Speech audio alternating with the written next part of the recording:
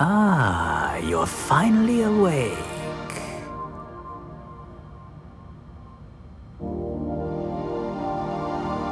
Have you any idea who saved you? He did. I'm certain you're wondering why. It's because we need your cooperation. By mechanizing you, I will extend your lifespan. In return,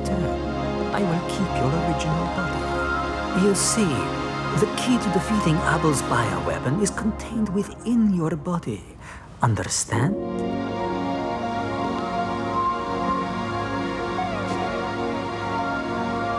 Well, shall we get started then?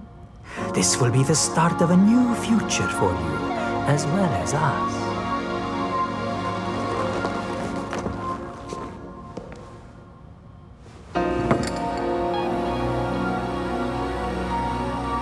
When you wake, it will feel as though only a moment has passed, but in reality, a year will have gone by. You will be completely reborn in a new body. All right?